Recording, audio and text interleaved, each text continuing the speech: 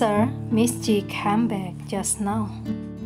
She took all her own things from the room, and Feng Haojue looks shocked to hear that. That's what Cheng Yi meant when he said Ji Ruge is gone, and quickly go to upside. Did she really take all of her things? Open the cupboard, and it is empty. Even the skincare products are gone. What kind of trouble is it to take everything away and only keep the contracts? Ji Ruge, what do you mean? Ji Ruge said, Nothing interesting. Congratulations, Mr. Feng. You have a girlfriend.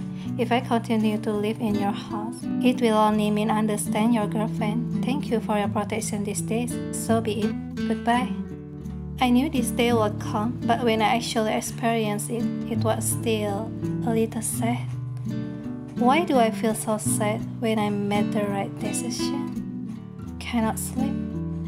And Ji Ruge friends come to see her. Ruth, what's wrong with you? What is because he was wrong again after returning home? It. Come back and ask her when she comes down. At Feng house still calling to Ji Ruge, but no answer. Ji Ruge dare not answer my call. Hmm, just get up again. Said I have a girlfriend, she must have me understood. I have to explain to her. Sir, sir, where are you going? Sir, where are you going in the car? I must have gone to Miss Ji.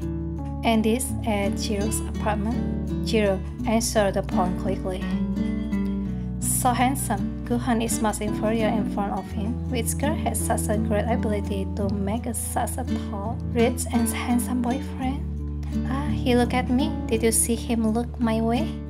See when I saw the phone call or text message, she won't do anything stupid. I said this classmate. This is the girl dormitory. What's the matter with you? A big boy entering the girl's dormitory. Jiro, Come down for me, Ji Ruge. I know you are inside. Don't try to escape from me. That's Feng Haojue. Why is he so frustrated? But apparently saw Ji Ruge's name. Thanks for watching.